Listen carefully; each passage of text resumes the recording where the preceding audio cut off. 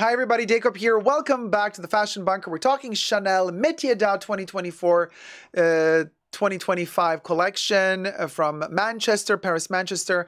Uh, just hit the runways. And as the show was happening and Virginie Viard had a huge success, you know, uh, stellar reviews, Bruno Pavlovsky, you know, the head of Chanel, well, one of the, actually, not the main head anymore. But anyway, he gave an interview about Chanel and what's going on with the state of luxury today, what's going on with the state of Chanel today, with the Métier d'Art collections.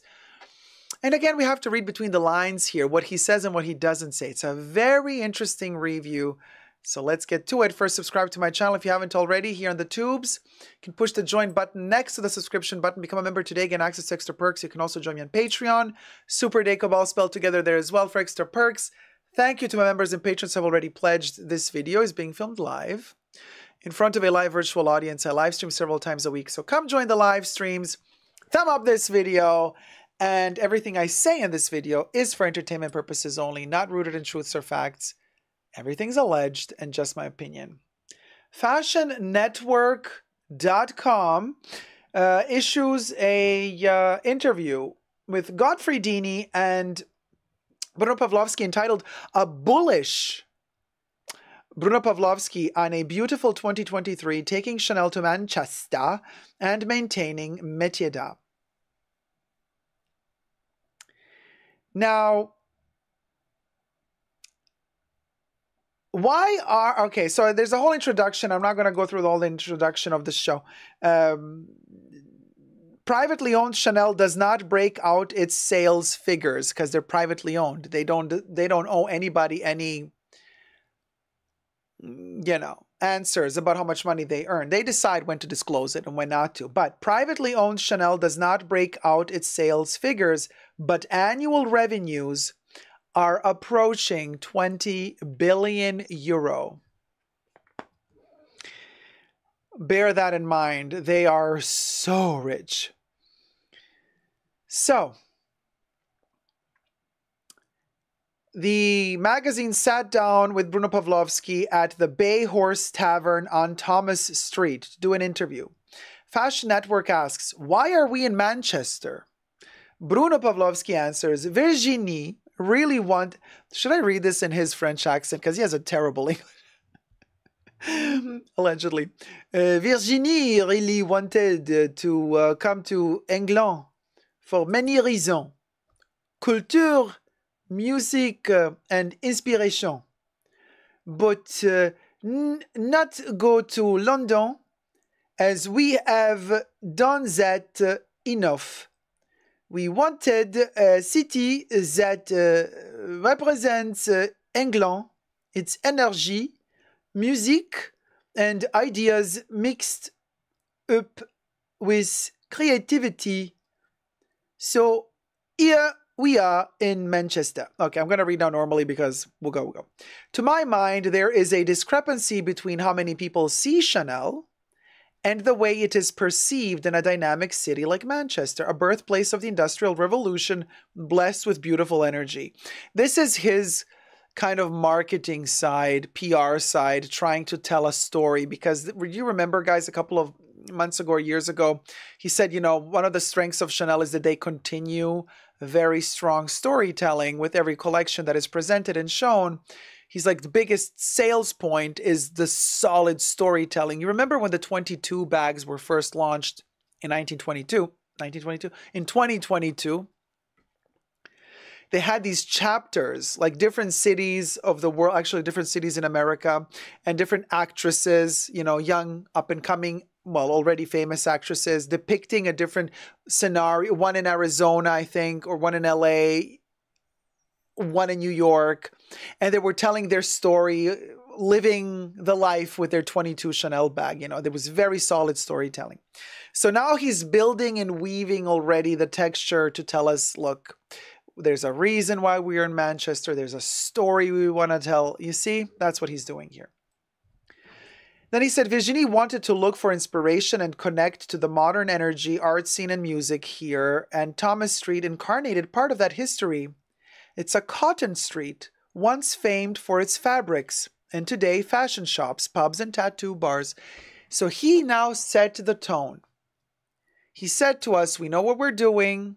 We went back to Manchester to this particular street that is famous for its fabric. And of course, Chanel does fabric, and they click, you know, there you go. Um, Fashion Network asks, why is it important that the Métier d'Art shows travel so much? And he says, well, we could easily remain in France, but we like to follow the ideas of Virginie. And this season, it's Manchester. Last year, she wanted, I love how he's like, last year she wanted to go to Africa. And after considering that, we realized Dakar was the right choice. So we let her do it. Now, I added that. He didn't say so. We let her do it. But it kind of comes off as like she wanted to go to Africa and we were like, why? But then we did it anyway because whatever. That's how it sounds to me. And um, it's important to travel in general, even if we have seen some great métier d'art shows in Paris. Travel makes you breathe in another culture, like in Dakar or, Man- or Manchester, which is great for a French brand like Chanel. Not really, because Coco Chanel never liked to travel. She never went to Asia, to India. She hated that she had to go to America like four times or how many ever times she went. Uh, so this is not at all in in Chanel's blood, really. Not to say that she wasn't fascinated by faraway lands, she was, but she never really wanted to go there. And when asked, "Oh, are you ever going to go to Asia?" she's like, "Why? I, I have so much still to see here. I, I haven't seen literally anything in Europe. I don't have the time, you know. Let me like expand in my home, and then let's move uh, elsewhere." Was her kind of motto, allegedly. Um the discovery of many layers in a city and culture, what Manchester means and stands for, in an expo in Victoria Baths that shows why should blah, blah. And they talk about the expo, not interesting. And uh, oh, then they poke at him. How was the approach varied from Karl to Virginie? Now they want to know from him what's different between the two. And Bruno says, To my mind, Karl and Virginie are very different. Virginie tries to choose a new screen for each collaboration, even as her ideas nurture and nourish the codes of the brand. I should also say there have never been so many clients coming into our boutique. He's saying that she's better than Karl in a very subtle way? Or is he lying just to kind of keep face? Thumb up the video and subscribe while you're at it. If you're enjoying this, thumb up the video. It means the world to me and it also helps out the channel. And follow me on Instagram, DacobCC, all spelled together for more Chanel insights. Not because her ideas and designs are simpler. Oh, sorry. That's another one. Virginie's bringing her own touch to each collection freer and more fluid, even if I don't really like to compare her and Karl. He literally said she's selling more than him. He's literally saying she's more free and more fluid than he was. He was more rigid. He, that's what he implies. The shade he's throwing at Karl. And yet, he was totally fine with Karl all those decades, wasn't he? Oh, this guy. Mm, Bruno, Bruno, Bruno dangerous, very dangerous. Imagine if he's still with us after Virginie leaves and somebody else comes. What is he going to say? How better they are than her? Oh, the snakery. Has the age of your clients become younger with Virginie? Oh, there. Oh, cha, this is so juicy. Love the questions. So they ask, has the age of your clients become younger with Virginie? My answer personally is like everything costs like 10 times more now. I think the clientele got older, and if younger, then they have to be very rich. But anyway, Bruno says, I don't like to reduce the discussion to that. This is his way of saying, I feel uncomfortable talking about this because he doesn't want to really address the situation, right? We have a very wide range of clients. Even if we find in all cases there is a younger clientele coming into our boutiques and discovering the brand, notice how he never says buying. He says they come in they to look, they're interested. But he, he's not saying they can afford it. He's not saying they can buy it. He's not saying that they do buy it. He says they look. not because her ideas, and this is, and he says, not because her ideas and designs are simpler. Often they want what's more sophisticated. So I never really look at the idea of age. I think it blocks your view. Chanel is a very large idea in terms of style, silhouette, and expression. I think he lost himself here because it doesn't make much sense what he's saying. I don't like to reduce the discussion to the age. We have a very wide range of clients, even if we find in all cases there is a younger clientele coming into our boutiques and discovering the brand, full stop. Not because her ideas and designs are simpler, often they want what's more sophisticated. So I never really look at the idea of age. So what is he saying? That the younger audience wants something more sophisticated? Virginie delivers simplicity. Yeah, he, very shady answer. Then they ask, what were the first two companies acquired by Paraffection and why? Paraffection is subsidiary, kind of part of Chanel, and then they uh, buy all the métier d'art uh, companies, you know, to do the buttons, to do the feathers, to do the um, tweeds, to, to do the metals. So anyway, he says, Des uh, for the buttons and Lesage for embroidery. And then they go on this conversation about purchasing, you know, because it is a métier d'art collection after all. So purchasing all of these brands. Uh, not so interesting. What sort of year is Chanel having? This is interesting. Bruno says 2023 will be a beautiful year, double digit growth. He can say whatever he wants, by the way because they are not on the stock market. It's a privately owned company. They don't owe anybody any explanation, right? He can say triple digit growth if he wants to. You know what I mean? So, but let's, we believe him. He says double digit growth. Okay. But the bigger question is that since September, we are still growing steadily, even as major economies are slowing down. During COVID, Chanel clients could not spend money especially for travel, but they have since returned to our boutiques in large numbers. Which is also bizarre because during the lockdown, people were buying a lot of Chanel, me included. So I don't know why he's saying that um, things have changed. I don't know. Interesting. He's kind of saying the opposite here. 2024 will be calmer so he's telling us now they're going to make less money next year. There will be a slowdown, but I stress not a fall. But overall, the perspectives for luxury are still very good.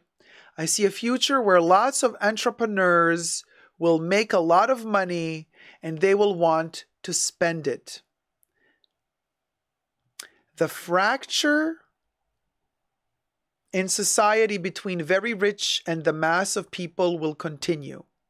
And those at the top will naturally turn to top quality products with a real history. This is a disgusting part, in my opinion, of the of, of what he has to say. Because first he's saying I see a future where lots of entrepreneurs will make a lot of money and they will want to spend it. So he's talking about the nouveau riche. Okay? Nouveau Riche does not a classic brand make, Bruno. If that's all you want to nurture the Nouveau Riche, good luck to you and the trash you're going to be selling them. And then he says the fracture in society between very rich and the mass of people will continue. You see how when you talk luxury, we've already seen it when uh, luxury brands talk about the aspirational client, what they mean is the poor client who can't afford substantial pieces from the brand, so they buy a lipstick, entry level, price tag, uh, small leather good, you know, poverty. But they don't say poverty, they say aspirational. Here, he's talking about this, he's saying the fracture in society between very rich and what's the opposite of very rich? Very poor. He does not use the word poor. He says, but he does use the word rich because that goes well with luxury, especially very rich, which is what he says. The fracture in society between very rich and then he says, and the mass of people. So he's his definition, his elitist definition of society is the very rich versus the mass of people. That's it. That's his separation. So you're either very rich or you belong to the mass of people. There is no you know, mid class society, bourgeoisie, nothing. There's the very rich, not even rich, very rich, and mass of people. And the mass of people is poverty, but he's not going to say the word. He's not. It doesn't exist. He's avoiding it like the total snob that he is. You know, doesn't. Poor? What's that? I don't know her. The fracture in society between very rich and the mass of people will continue. And then his elitism is even more disgusting. Don't forget, Coco Chanel always said the opposite of luxury is not poverty. The opposite of luxury is vulgarity. And my dear Bruno, you're being very vulgar here in this interview, in my humble opinion. Not Chanel at all. Sorry, boo boo. So he goes on to say, the fracture in society between very rich and the mass of people will continue. And those at the top, and those at the top, the phrasing, and those at the top will naturally, he says, turn to top quality products with a real history. Except your leather peels, allegedly. So those at the top are going to turn to top quality. So are you telling us they're going to go to Hermes instead of Chanel? Is that what you're implying here, Bruno? With real history, he says. Hmm. I mean, Virginie is delivering more Chanel history than Karl did, so I, I can hand him that. Plus, the great force of Chanel is that we also have a very wide base in perfume. Here he now touches base on where the money is really coming from. The aspirational client, the person that doesn't have the money to buy the big ticket items but he's not saying it. He's not calling it out for what it is. He's not calling a spade a spade. Instead, he's weaving it in saying, plus the great plus the great force, great force of Chanel is that we also have a very wide base in perfume, cosmetics, accessories, and shoes.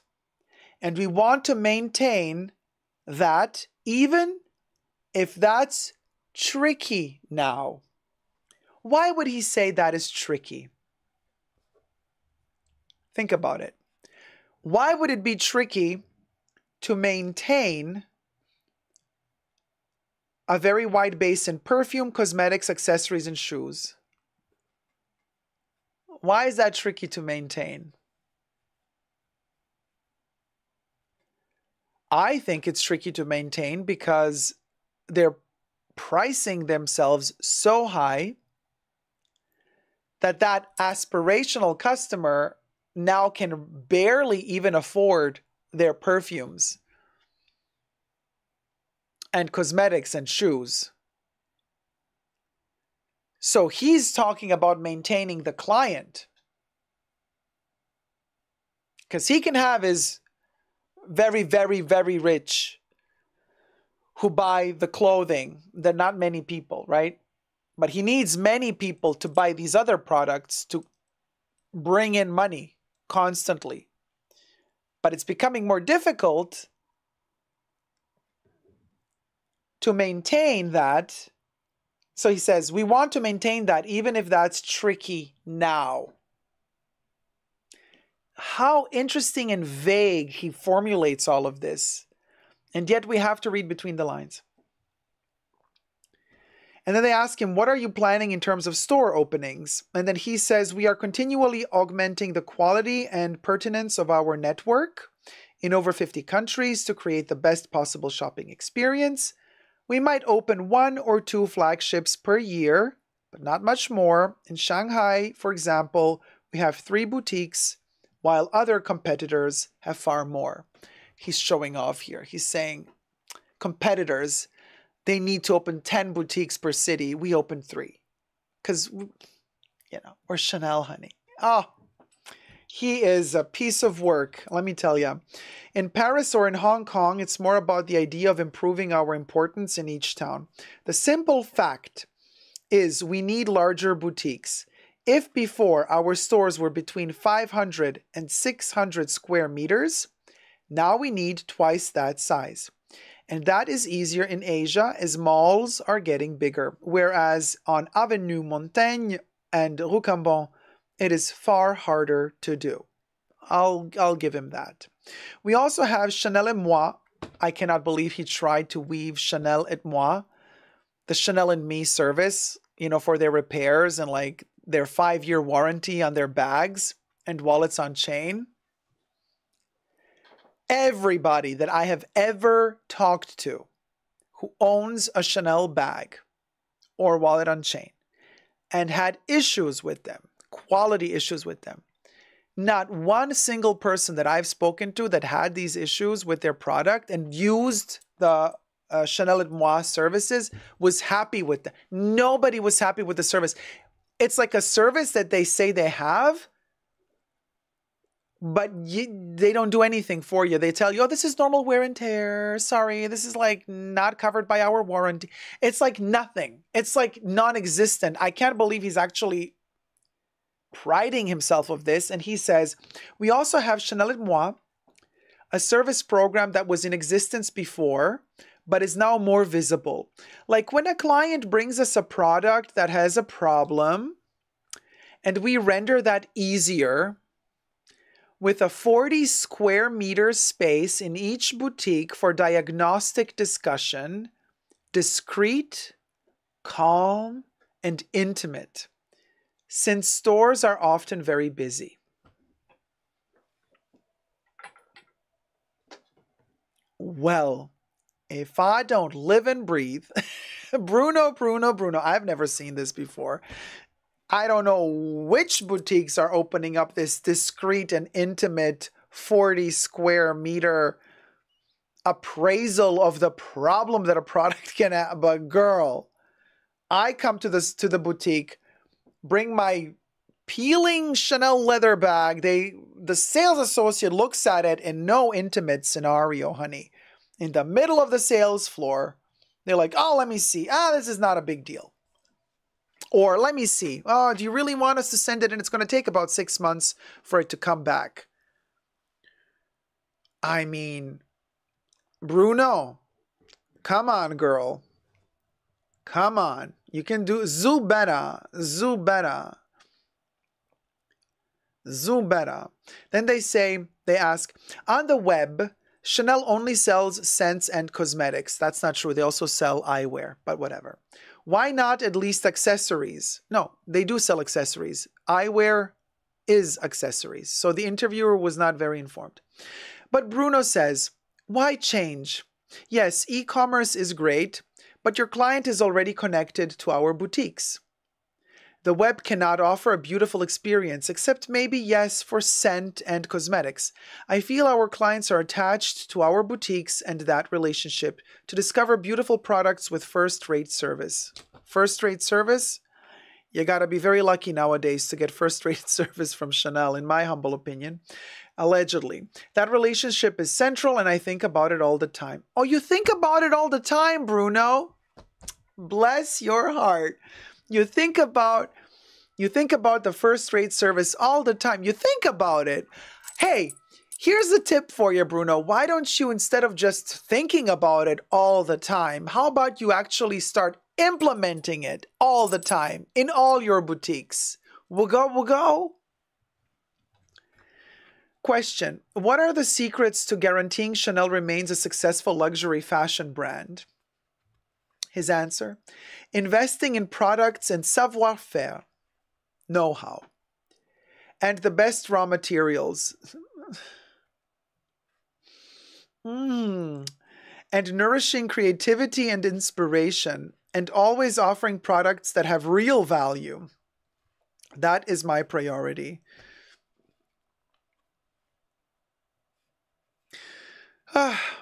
Question. Many of your campaigns are shot by Inez and Vinoodh. Uh, why is there such a strong affinity for their work? Uh, answer uh, They have a great complicity with Virginie. They understand what she wants and her ideas. Plus, they have great talent and they get what she wants in terms of projecting her image of Chanel.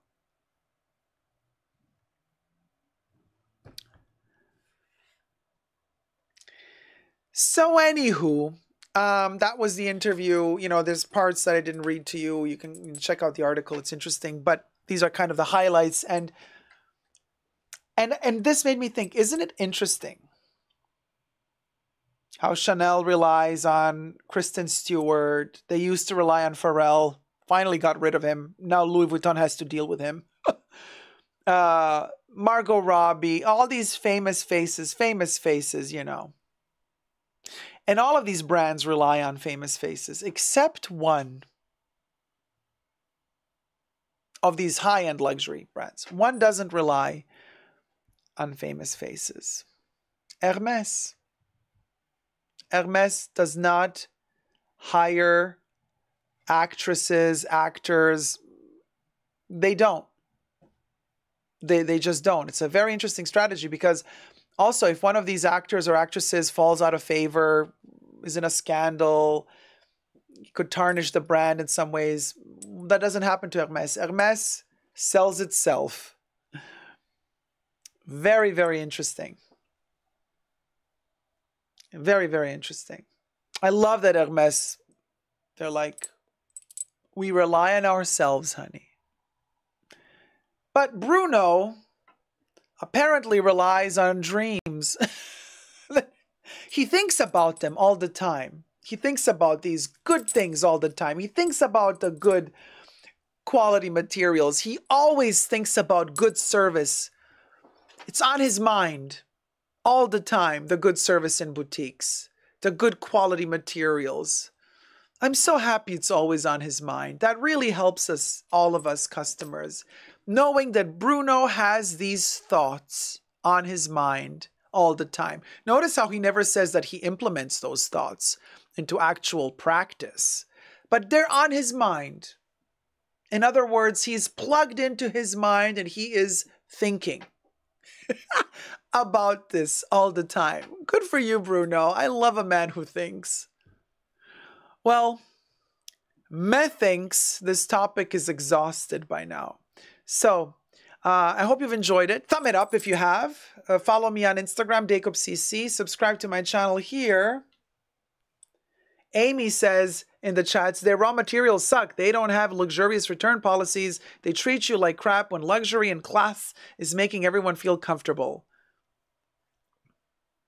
Kev says, Bruno just needs to cross them off his to do list once in a while. Right? The thoughts. Thoughts and prayers, Bruno. Let me know your thoughts and prayers down below as well in the comment section. Subscribe, thumb up the video, and until next time, never forget to never give up on luxurious, fashionable love. Bye!